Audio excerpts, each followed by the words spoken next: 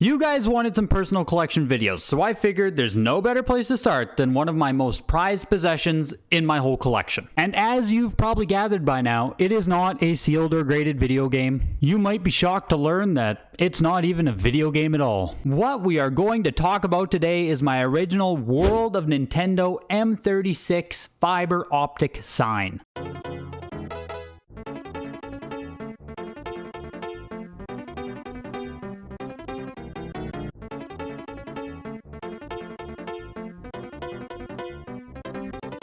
This is the type of sign that would have been purchased by licensed retailers back in the 80s and 90s and used for display or advertisement within their stores. Most commonly, you can find signs and other advertisements like this if you search for old World of Nintendo store photos. The stores are always chock full of amazing display pieces just like this. And if you go down the rabbit hole into original Nintendo displays and advertisements, there are a lot of them. You can find fiber optic signs advertising Game Boy, Super Nintendo, N64, and even this M36 sign sign here has many different variants that are all slightly different from each other, including some that are made out of neon instead of being fiber optic. And I know we talk about sealed games so much now on this channel, but this sign falls into the other category that I love collecting for, which are those types of items that were never actually available for retail purchase. The only people that were allowed to buy these retail type items were licensed Nintendo retailers at the time. Then slowly after those life cycles ended, these signs and other display pieces would slowly leak out into the market market. I'm pretty sure the official rules where you had to return these to Nintendo and or destroy them. Much like current displays that you'll see inside of GameStop or Walmart, you're not actually supposed to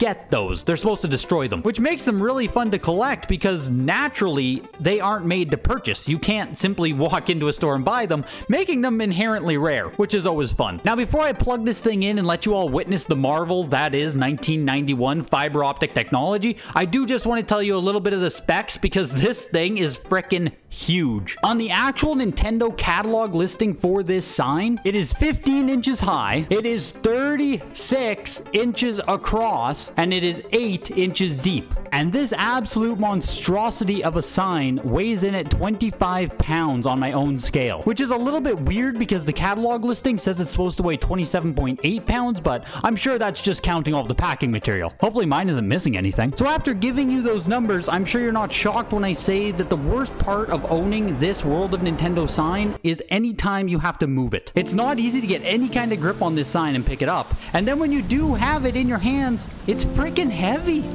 What's even more funny about that is on the sign on the top here, there are these built-in hook pegs where you can actually hang chains from them. And the idea is that you would hang this sign from the ceiling for display. Now ask me if I'm ever going to be brave enough to hang this monstrosity from the ceiling. No shot, bucko. No shot. But that's enough jibber jabber about the sign. I know you all only came for one thing and it's frickin' disgusting. Let me kill the lights, create some atmosphere, and I'll show you guys what it looks like running as well as what it looks like inside, which is pretty cool as well. I don't know if a lot of you have ever seen fiber optic technology on the inside. I'm a 90s kid. The only exposure I ever had to fiber optic technology was we had this little lamp that was, it just had a bunch of fiber optic coils basically coming off of it and they all lit up at the end. That is the only piece of fiber optic technology I had my whole life. So this sign's just cool because it's fiber optic because nothing is fiber optic. Anyways, use this slight interlude to hit the like button at the bottom of the video, help it to spread to more people, and as always, thank you to every single Patreon who helps support the channel as well as the YouTube members. I really can't do it without you guys. I'm shooting this in the middle of the day, and uh, it actually didn't get that dark in my kitchen, which I, I probably should have seen this coming. But let me just take the cable here, plug it in. Three, two, one...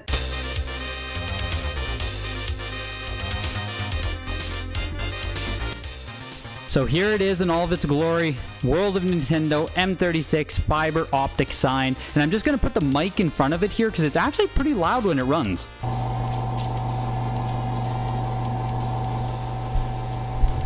This thing actually produces quite the hum, and it actually looks pretty darn good, even though it's not that dark in here. A true testament to the workmanship of 1991. So what I am going to do here quick though is take off the top panel so that we can take a look inside while it's running, because that's also pretty cool.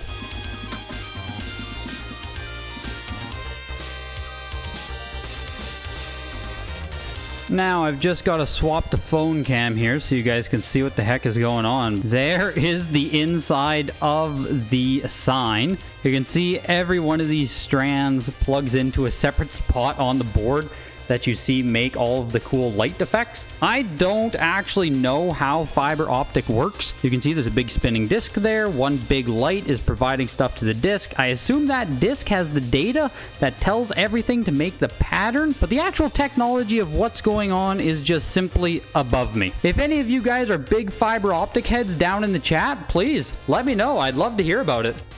And here is the 360 of the sign coming back to the front. Now, like I said, every one of those little prongs here now that you saw on the back of it is one of these lights. Pretty freaking crazy, honestly.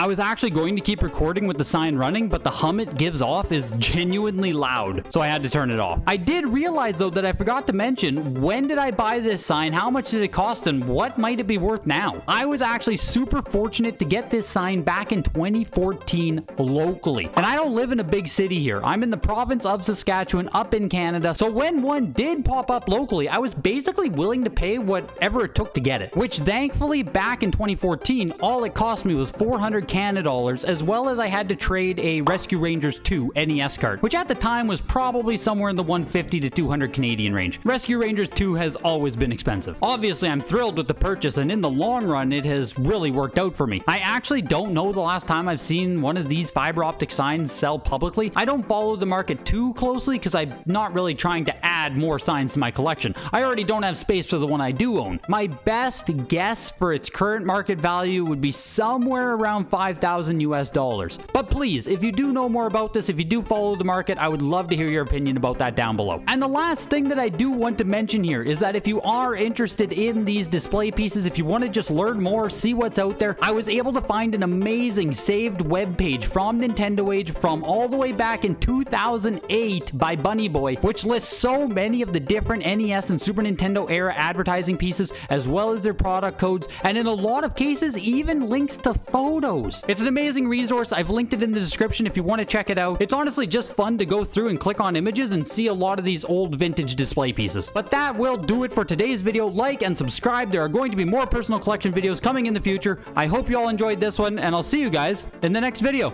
Goodbye.